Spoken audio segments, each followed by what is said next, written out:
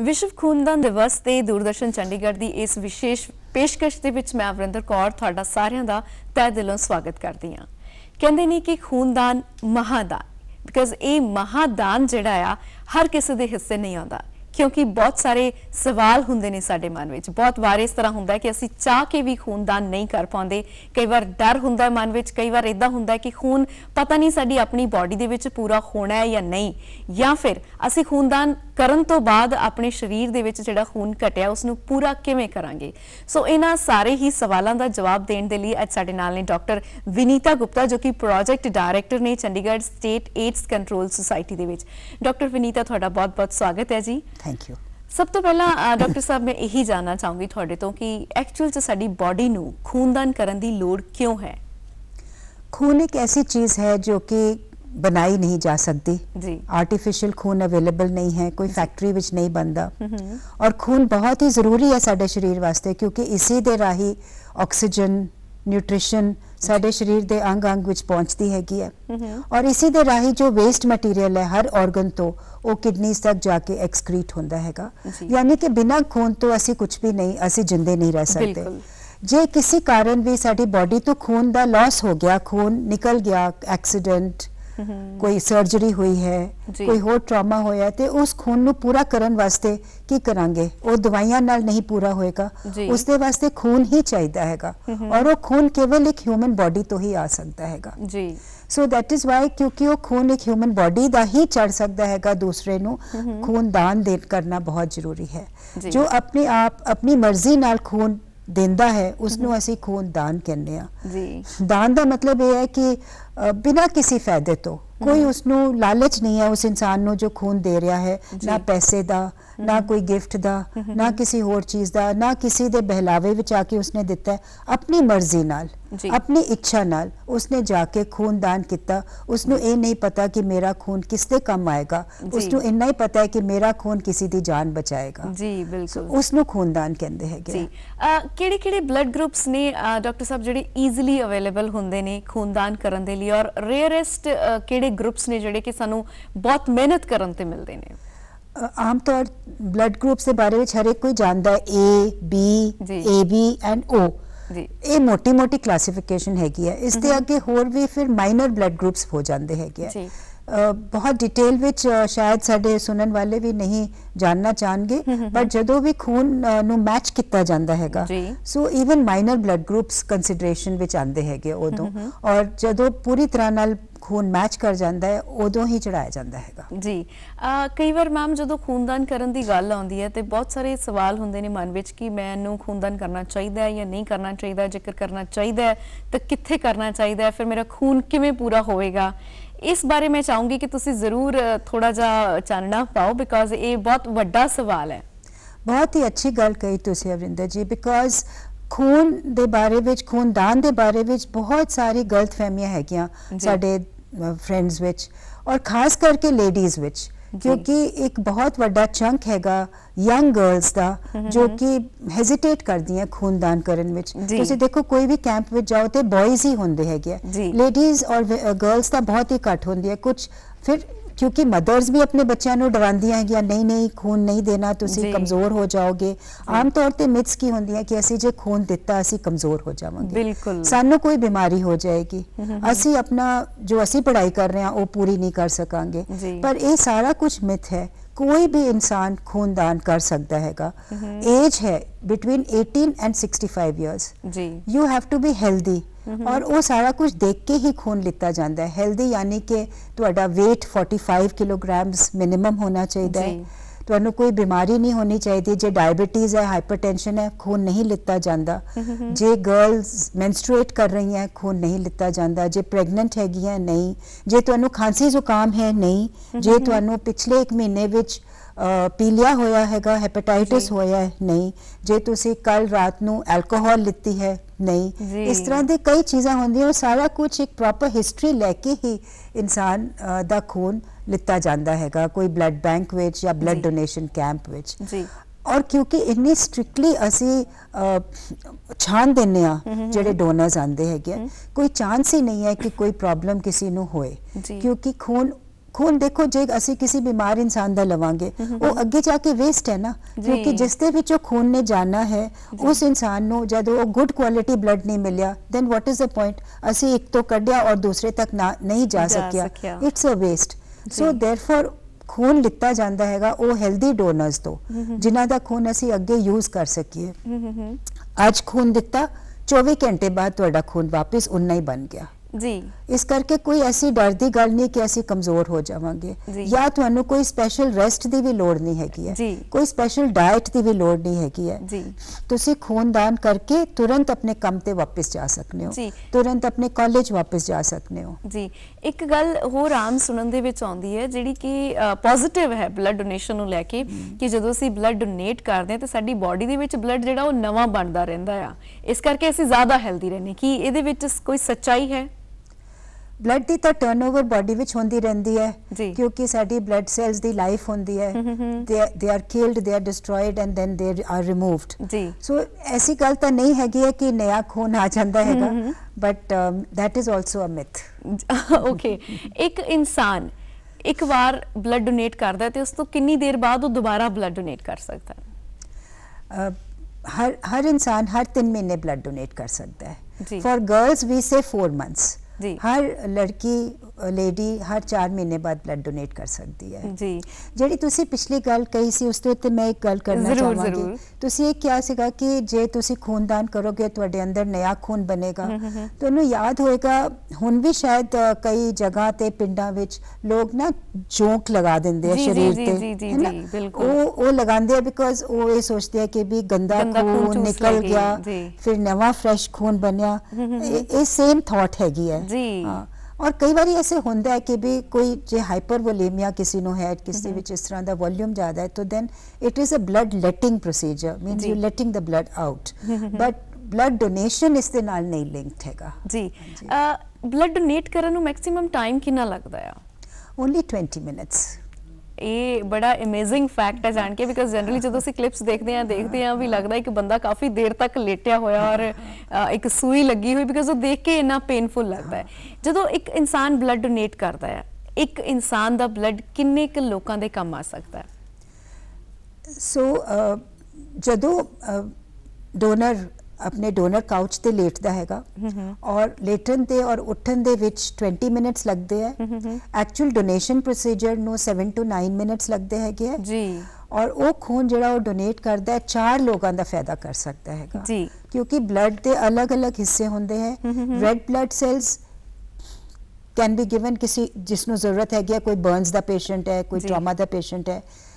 Plasma for blood clotting factors ਜੀ platelets ਜਿਸ ਤਰ੍ਹਾਂ ਡੈਂਗੀ ਦਾ ਸੀਜ਼ਨ ਆ ਜਾਏਗਾ ਜੀ ਔਰ ਜਿਹੜਾ ਹੋਰ ਸਪੈਸ਼ਲ ਫੈਕਟਰਸ ਹੁੰਦੇ ਜਿਸ ਤਰ੍ਹਾਂ ਥੈਲੇਸੀਮਿਕ ਪੇਸ਼ੈਂਟਸ ਹੁੰਦੇ ਆ ਬੱਚੇ ਹੁੰਦੇ ਆ ਜਿਨ੍ਹਾਂ ਨੂੰ ਰੈਗੂਲਰ ਬਲੱਡ ਡੋਨੇਸ਼ਨ ਦੀ ਜ਼ਰੂਰਤ ਹੁੰਦੀ ਹੈ ਉਹ ਵਾਲਾ ਫੈਕਟਰ ਬਣਾਇਆ ਜਾਂਦਾ ਹੈ so 4 people can benefit okay blood donate ਕਰਨ ਤੋਂ ਪਹਿਲਾਂ ਮੈਮ ਕੋਈ ਖਾਸ ਡਾਈਟ ਵੀ ਲੈਣੀ ਪੈਂਦੀ ਹੈ ਜਾਂ ਬਲੱਡ ਡੋਨੇਟ ਕਰਨ ਤੋਂ ਬਾਅਦ ਕੋਈ ਖਾਸ ਡਾਈਟ ਲੈਣੀ ਪੈਂਦੀ ਹੈ ਨਹੀਂ ਨਹੀਂ ਅਵਿੰਦਰ ਕੁਝ ਵੀ ਨਹੀਂ ਐਸਾ ਬਿਕਾਜ਼ ਇਹ। ਇਹ ਬੜਾ ਉਹ ਹੁੰਦਾ ਕਨਫਿਊਜ਼ਿੰਗ ਜਿਹਾ ਸਟੇਟ ਆਫ ਮਾਈਂਡ ਹੁੰਦਾ ਕਿ ਜੇ ਤੁਸੀਂ ਬਲੱਡ ਡੋਨੇਟ ਕਰਕੇ ਜਾ ਰਹੇ ਹੋ ਤਾਂ ਤੁਸੀਂ ਇੰਨੀ ਦੇਰ ਪਹਿਲਾਂ ਕੁਝ ਨਹੀਂ ਖਾਣਾ ਜਾਂ ਇਮੀਡੀਏਟਲੀ ਤੁਸੀਂ ਆਹ ਚੀਜ਼ ਨਹੀਂ ਖਾ ਸਕਦੇ ਐਸੀ ਕੋਈ ਵੀ ਰੁਕਾਵਟ ਨਹੀਂ ਹੈਗੀ ਹੈ ਪਰ ਮੈਂ ਆਪਣੇ ਵੱਲੋਂ ਇਹ ਕਵਾਂਗੀ ਕਿ ਜੇ ਤੁਸੀਂ ਬਲੱਡ ਡੋਨੇਟ ਕਰਨ ਜਾ ਰਹੇ ਹੋ just have a good breakfast so that ਤੁਸੀਂ ਆਪਣੇ ਆਪ ਨੂੰ ਫਰੈਸ਼ ਫੀਲ ਕਰੋ ਤੰਦਰੁਸਤ ਫੀਲ ਕਰੋ ਹੈ ਨਾ। ਐਵੇਂ ਐਮਟੀ ਸਟਮਕ ਨਹੀਂ ਜਾਣਾ ਚਾਹੀਦਾ। ਔਰ ਬਲੱਡ ਡੋਨੇਸ਼ਨ ਤੋਂ ਬਾਅਦ ਜਿੱਥੇ ਵੀ ਤੁਸੀਂ ਬਲੱਡ ਡੋਨੇਟ ਕਰੋਗੇ ਉੱਥੇ ਜ਼ਰੂਰ ਤੁਹਾਨੂੰ ਕੁਝ ਲਿਕੁਇਡ ਦਿੱਤਾ ਜਾਏਗਾ ਔਰ ਕੁਝ ਖਾਣ ਨੂੰ ਦਿੱਤਾ ਜਾਏਗਾ। ਆਮ ਤੌਰ ਤੇ ਇੱਕ ਬਨਾਨਾ ਇੱਕ ਦੁੱਧ ਦਾ ਪੈਕੇਟ ਦਿੱਤਾ ਜਾਂਦਾ ਹੈ। ਵੈਸੇ ਵੀ ਫਲੂਇਡਸ ਲੈਣਾ ਅੱਛਾ ਹੈਗਾ ਬਲੱਡ ਵੋਲਿਊਮ ਜਲਦੀ ਬਣੇਗਾ। ਸੋ ਇਹੀ ਹੁੰਦੀ ਹੈ ਕੁਝ ਔਰ ਫਿਰ ਨਾਰਮਲ ਆਪਣਾ ਜੋ ਵੀ ਡਾਈਟ ਖਾਣੇ ਹੋ। ਜੀ। ਕੋਈ ਰਿਸਕ ਵੀ ਇਨਵੋਲਡ ਹੈ ਮੈਮ ਬਲੱਡ ਡੋਨੇਸ਼ਨ ਦੇ ਵਿੱਚ? ਕੋਈ ਰਿਸਕ ਇਨਵੋਲਡ ਨਹੀਂ ਹੈ ਕਿਉਂਕਿ ਜਿਹੜੀ ਸੂਈ ਤੁਹਾਨੂੰ ਲਗਾਈ ਜਾਂਦੀ ਹੈ ਡੋਨਰ ਨੂੰ ਉਹ ਬਿਲਕੁਲ ਸਾਫ਼ ਨਵੀਂ ਡਿਸਪੋਜ਼ੇਬਲ ਸੂਈ ਯੂਜ਼ ਹੁੰਦੀ ਹੈ। ਸੋ ਉਸ ਨੂੰ ਕੋਈ ਇਨਫੈਕਸ਼ਨ ਨਹੀਂ ਹੋਏਗੀ। ਹਾਂ ਕਈ ਵਾਰੀ ਇਸ ਤਰ੍ਹਾਂ ਹੁੰਦਾ ਹੈ ਕਿ ਜਸਟ ਦ ਥਾਟ ਉਹ ਸੋਚ ਕਿ ਮੈਂ ਖੂਨ ਦੇਣਾ ਹੈ। ਕਈ ਲੋਕ ਵੈਸੇ ਹੀ ਸਿਰਿੰਜ ਤੋਂ ਵੀ ਘਬਰਾ ਜਾਂਦੇ ਜੀ, ਹੈਗੇ ਬਿਲਕੁਲ। ਇੰਜੈਕਸ਼ਨ ਲਗਾਉਣ ਤੋਂ ਹੀ ਘਬਰਾ ਜਾਂਦੇ ਆ ਤੇ ਉਸ ਨੂੰ ਅਸੀਂ ਵੇਜ਼ੋਵੇਗਲ ਅਟੈਕ ਕਹਿੰਦੇ ਆ। ਉਹ ਕਿਸੇ ਵੀ ਇਨਸਾਨ ਨੂੰ ਹੋ ਸਕਦਾ ਹੈ not just related to blood donation ਜੀ। ਜਿਸ ਤਰ੍ਹਾਂ ਕਿ ਕੋਈ ਆਪਣਾ ਖੂਨ ਦਾ ਸੈਂਪਲ ਹੀ ਦੇਣ ਜਾਂਦਾ ਹੈ ਤੇ ਉਸ ਨੂੰ ਸਡਨਲੀ ਚੱਕਰ ਆ ਜਾਏ ਉਹ ਲੇਟ ਜਾਏ। ਇਸ ਤਰ੍ਹਾਂ ਦਾ ਚੀਜ਼ ਹੋ ਸਕਦੀ ਹੈ ਕਿਸੇ ਜੀ, ਨਾਲ। ਬਿਲਕੁਲ, ਬਿਲਕੁਲ। But that is a normal body reaction ਜਿਨ੍ਹਾਂ ਦੀ ਆਪਣੀ ਥਾਟ ਇਸ ਤਰ੍ਹਾਂ ਦੀ ਹੈ ਪਰ ਇਹ ਨਹੀਂ ਹੁੰਦਾ ਐਂਡ ਇਟਸ ਵੈਰੀ ਰੇਅਰ ਜੀ ਜੇਕਰ ਚੰਡੀਗੜ੍ਹ ਦੀ ਗੱਲ ਕਰੀਏ ਚੰਡੀਗੜ੍ਹ ਦੇ ਵਿੱਚ ਕਿੱਥੇ-ਕਿੱਥੇ ਲੋਕ ਜਿਹੜੇ ਆਪਣੀ ਮਰਜ਼ੀ ਦੇ ਨਾਲ ਬਲੱਡ ਡੋਨੇਟ ਕਰਨਾ ਚਾਹੁੰਦੇ ਕਿੱਥੇ-ਕਿੱਥੇ ਜਾ ਕੇ ਬਲੱਡ ਡੋਨੇਟ ਕਰ ਸਕਦੇ ਨੇ ਚੰਡੀਗੜ੍ਹ ਵਿੱਚ ਚਾਰ ਬਲੱਡ ਬੈਂਕਸ ਹੈਗੇ ਹੈ ਪੀਜੀਆਈ ਸੈਕਟਰ 16 ਸੈਕਟਰ 32 ਦਾ ਮੈਡੀਕਲ ਕਾਲਜ ਔਰ ਇੱਕ ਸੈਕਟਰ 37 ਵਿੱਚ ਰੋਟਰੀ ਬਲੱਡ ਬੈਂਕ। ਜੀ। ਸੋ ਇਹ ਚਾਰੋਂ ਬਲੱਡ ਬੈਂਕਸ ਵਿੱਚ ਕਿਸੇ ਵਕਤ ਵੀ ਜਾ ਕੇ ਇਨਸਾਨ ਬਲੱਡ ਡੋਨੇਟ ਕਰ ਸਕਦਾ ਹੈ। ਇਸ ਦੇ ਇਲਾਵਾ ਬਹੁਤ ਬਲੱਡ ਕੈਂਪਸ ਡੋਨੇਸ਼ਨ ਕੈਂਪਸ ਲੱਗਦੇ ਰਹਿੰਦੇ ਆ ਸ਼ਹਿਰ ਵਿੱਚ ਜਗ੍ਹਾ ਜਗ੍ਹਾ ਤੇ। ਉੱਥੇ ਜਾ ਕੇ ਡੋਨੇਟ ਕਰ ਸਕਦੇ ਹੋ। ਇੱਕ ਸਾਡੇ ਕੋਲ ਚੰਡੀਗੜ੍ਹ ਵਿੱਚ ਇੱਕ ਬਲੱਡ ਮੋਬਾਈਲ ਬੱਸ ਹੈ ਜੋ ਕਿ ਜਦੋਂ ਕੋਈ ਗਰੁੱਪ ਡੋਨੇਟ ਕਰਨਾ ਚਾਹੁੰਦਾ ਹੈ ਤੇ ਉਹ ਸਾਨੂੰ ਦੱਸ ਸਕਦਾ and we can send the blood mobile van. ਜਿਸ ਦੇ ਵਿੱਚ beautiful blood mobile van air condition ਅੰਦਰ ਚਾਰ ਕਾਊਚਸ ਲੱਗੇ ਹੋਏ ਹੈ ਔਰ ਬਹੁਤ ਕੰਫਰਟੇਬਲੀ ਆਪਣੇ ਘਰ ਬਲੱਡ ਡੋਨੇਟ ਕਰ ਸਕਦਾ ਹੈ ਇਨਸਾਨ। ਘਰ ਯਾਨੀ ਕਿ ਜਿੱਥੇ ਤੁਸੀਂ ਜਿੱਥੇ ਵੀ ਬੁਲਾਓਗੇ। ਤੁਸੀਂ ਹੈਗੇ ਹੋ। ਮੈਮ ਜਦੋਂ ਅਸੀਂ ਬਲੱਡ ਡੋਨੇਸ਼ਨ ਦੀ ਗੱਲ ਕਰਦੇ ਹਾਂ ਤੁਸੀਂ ਮੰਨਿਆ ਹੋਣਾ ਯਾਰ ਤੁਹਾਨੂੰ ਤੁਸੀਂ ਆਪ ਵੀ ਜਾਣਦੇ ਹੋ ਤੁਹਾਨੂੰ ਪਤਾ ਹੋਣਾ ਹੈ ਕਿ ਲੋਕ ਕਨਵਿੰਸ ਕਰਨੇ ਬਹੁਤ ਔਖੇ ਨੇ। ਕੀ ਕੋਈ ਇਸ ਤਰ੍ਹਾਂ ਦਾ ਸੈਮੀਨਾਰ ਜਾਂ ਕੋਈ ਇਸ ਤਰ੍ਹਾਂ ਦਾ ਅਵੇਅਰਨੈਸ ਕੈਂਪ ਵੀ ਲਗਵਾਇਆ ਜਾਂਦਾ ਚੰਡੀਗੜ੍ਹ ਐਡਮਿਨਿਸਟ੍ਰੇਸ਼ਨ ਵੱਲੋਂ? ਅਸੀਂ ਬਹੁਤ ਯੰਗ ਏਜ ਤੋਂ ਸ਼ੁਰੂ ਕਰ ਲੈਂਦੇ ਆ ਮੋਟੀਵੇਸ਼ਨ ਕਰਨੀ। ਜੀ। ਸਕੂਲ ਸਟੂਡੈਂਟਸ ਤੋਂ। ਸਕੂਲ ਸਟੂਡੈਂਟਸ ਨਹੀਂ ਡੋਨੇਟ ਕਰ ਸਕਦੇ because 18 years is cut off but school students ਤੋਂ ਐਜੂਕੇਸ਼ਨ ਸ਼ੁਰੂ ਹੋ ਸਕਦੀ ਹੈਗੀ ਹੈ। ਜੀ। ਸੋ ਕਲਾਸ 11 12 ਨੂੰ ਸਕੂਲਸ ਵਿੱਚ ਦੱਸਿਆ ਜਾਂਦਾ ਹੈਗਾ ਕਿ ਕਿਸ ਤਰ੍ਹਾਂ ਬਲੱਡ ਡੋਨੇਸ਼ਨ ਨਾਲ ਕੁਝ ਨੁਕਸਾਨ ਨਹੀਂ ਫਾਇਦੇ ਹੀ ਹੈਗੇ ਆ। ਉਹ ਆਪਣੇ ਪੇਰੈਂਟਸ ਨੂੰ ਮੋਟੀਵੇਟ ਕਰਦੇ ਹੈਗੇ ਆ।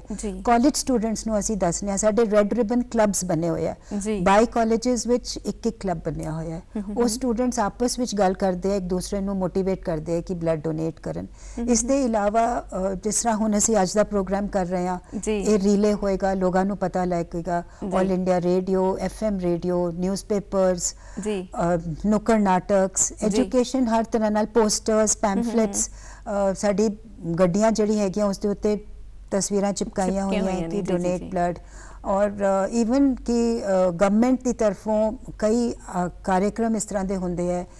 ਅਵੇਅਰਨੈਸ ਐਕਟੀਵਿਟੀਜ਼ ਜਿਸ ਦੇ ਵਿੱਚ ਕੀ ਦੱਸਿਆ ਜਾਂਦਾ ਹੈ ਕਿ ਬਲੱਡ ਡੋਨੇਸ਼ਨ ਕਰਨੀ ਚਾਹੀਦੀ ਹੈਗੀ ਹੈ also we have motivator groups ਜੀ ਜੋ ਕਿ ਜਗ੍ਹਾ ਜਗ੍ਹਾ ਤੇ ਜਾ ਕੇ ਇਸ ਦੇ ਬਾਰੇ ਵਿੱਚ ਚਰਚਾ ਕਰਦੇ ਆ ਗੱਲ ਕਰਦੇ ਹੈਗੇ ਆ। ਔਰ ਲੋਕਾਂ ਵਿੱਚ ਕੋਈ ਗਲਤਫਹਿਮੀਆਂ ਹੈਗੀਆਂ ਬਲੱਡ ਡੋਨੇਸ਼ਨ ਬਾਰੇ ਉਹ ਦੂਰ ਕਰਦੇ ਆ ਉਹਨਾਂ ਨੂੰ ਕਲੀਅਰ ਕਰਦੇ ਆ ਕਿ ਕਿਉਂ ਡੋਨੇਟ ਕਰਨਾ ਚਾਹੀਦਾ ਹੈ ਔਰ ਕਿਸ ਤਰ੍ਹਾਂ। ਇੱਕ ਨਾਰਮਲ ਹਿਊਮਨ ਬਾਡੀ ਦੇ ਵਿੱਚ ਕਿੰਨਾ ਬਲੱਡ ਹੋਣਾ ਚਾਹੀਦਾ ਹੈ ਬਲੱਡ ਡੋਨੇਟ ਕਰਨ ਦੇ ਲਈ? ਔਰ ਤੁਸੀਂ ਕਿਵੇਂ ਮੈਜ਼ਰ ਕਰਦੇ ਹੋ ਇਸ ਨੂੰ? ਹਰ ਇੱਕ ਦੇ ਅੰਦਰ 5 ਲੀਟਰ ਬਲੱਡ ਹੁੰਦਾ ਹੈਗਾ। ਬੇਸਿਕਲੀ ਜਦੋਂ ਬਲੱਡ ਡੋਨੇਸ਼ਨ ਹੋਣੀ ਚਾਹੀਦੀ ਕਰਨਾ ਚਾਹੁੰਦੇ ਹੋ ਤੇ ਤੁਹਾਡਾ ਹੀਮੋਗਲੋਬਿਨ ਅੱਛਾ ਹੋਣਾ ਚਾਹੀਦਾ ਹੈ। ਜੀ। 12.5 ਜੀ। ਸੋ 12.5 ਤੋਂ ਜੇ ਘੱਟ ਹੈ ਤੇ ਕੋਈ ਤੁਹਾਡਾ ਬਲੱਡ ਨਹੀਂ ਐਕਸੈਪਟ ਕਰੇਗਾ ਫॉर ਡੋਨੇਸ਼ਨ ਔਰ ਬਲੱਡ ਡੋਨੇਸ਼ਨ ਸੈਂਟਰਸ ਤੇ ਜਿੱਥੇ ਬਲੱਡ ਡੋਨੇਟ ਹੁੰਦਾ ਹੈ ਉਧਰ ਇਹ ਟੈਸਟ ਕੀਤਾ ਜਾਂਦਾ ਹੈ ਬਾਈ ਦਾ ਮਸ਼ੀਨ ਵੀ ਹੈਵ ਹੈਮੋਕਿਊ ਉਸ। ਦੇ ਵਿੱਚ ਇੱਕ ਪ੍ਰਿਕ ਉਂਗਲੀ ਦਾ ਪਾ ਕੇ ਤੇ ਟੈਸਟ ਕੀਤਾ ਜਾਂਦਾ ਹੈ ਜੇ 12.5 ਅ, ਹੈ ਹੈਮੋਗਲੋਬਿਨ ਦੀ ਮਾਤਰਾ ਤਾਂ ਹੀ ਬਲੱਡ ਲੈਂਦੇ ਹੈਗੇ ਅਦਰਵਾਈਜ਼ ਰਿਫਿਊਜ਼ ਕਰ ਦਿੰਦੇ ਆ ਔਰ ਰਿਫਿਊਜ਼ ਕਰਕੇ ਨਾਲ ਕਾਉਂਸਲ ਕਰਦੇ ਆ ਕਿ ਤੁਹਾਡਾ ਹੈਮੋਗਲੋਬਿਨ ਘੱਟ ਹੈ। ਜੀ। You should have better haemoglobin ਫਿਰ। ਉਸ ਨੂੰ ਦੱਸਿਆ ਜਾਂਦਾ ਹੈ ਕਿ ਕਿਹੜੀ ਖੁਰਾਕ ਖਾਣੀ ਹੈ ਤੁਸੀਂ ਆਪਣਾ ਹੈਮੋਗਲੋਬਿਨ ਵਧਾਉਣ ਵਾਸਤੇ ਔਰ ਕੀ ਕੁਝ ਕਰਨਾ ਚਾਹੀਦਾ ਹੈ। ਫਿਰ ਪ੍ਰੋਪਰ ਟੈਸਟਿੰਗ ਕਰਕੇ ਕੋਈ ਹੋਰ ਨੁਕਸ ਤਾਂ ਨਹੀਂ ਹੈਗਾ। ਇਹ ਸਾਰਾ ਕੁਝ ਕੀਤਾ ਜਾਂਦਾ ਹੈ। ਜੀ।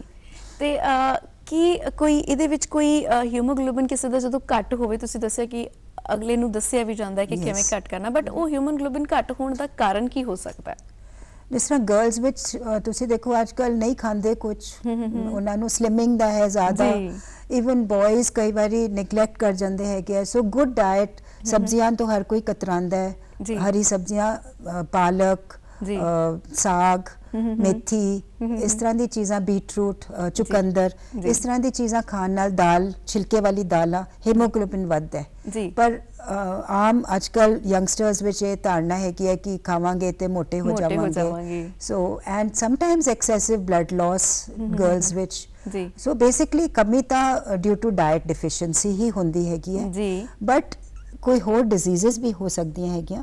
ਜਿਸ ਦੇ ਬਾਰੇ ਵਿੱਚ ਜੇ ਡਾਈਟ ਨਾਲ ਕਵਰ ਨਹੀਂ ਹੋਇਆ ਹੈਮੋਗਲੋਬਿਨ। ਫਿਰ ਫਰਦਰ ਇਨਵੈਸਟੀਗੇਸ਼ਨਸ ਦੀ ਜ਼ਰੂਰਤ ਹੁੰਦੀ ਹੈਗੀ। ਹੈ ਪਰ ਅਸੀਂ ਜਦੋਂ ਬਲੱਡ ਡੋਨੇਟ ਕਰਨ ਕੋਈ ਆਂਦਾ ਹੈ ਔਰ ਉਹਨਾਂ ਨੂੰ ਰਿਫਿਊਜ਼ ਕਰਨੇ ਆ ਕਿ ਤੁਹਾਡਾ ਹੈਮੋਗਲੋਬਿਨ ਘੱਟ ਹੈ we counsel them and then encourage ਕਰਨੇ ਆ ਕਿ ਤੁਸੀਂ 3 ਮਹੀਨੇ ਬਾਅਦ ਪਲੀਜ਼ ਜਰੂਰ ਆਓ ਡੋਨੇਟ ਕਰਨ ਕਿਉਂਕਿ। ਜਿਹੜਾ ਕੋਈ ਡੋਨੇਟ ਕਰਨ ਆਇਆ ਆਪਣੀ ਇੱਛਾ ਨਾਲ very valuable we ji, cannot lose exactly, है ना that exactly. person has come we have to serve that person properly ਅਸੀਂ ਟੈਬਲੇਟਸ ਵੀ ਪ੍ਰਸਕ੍ਰਾਈਬ ਕਰ ਦਿੰਨੇ ਆ ਆਇਰਨ ਜੀ। ਦੀ ਟੈਬਲੇਟਸ ਜੀ।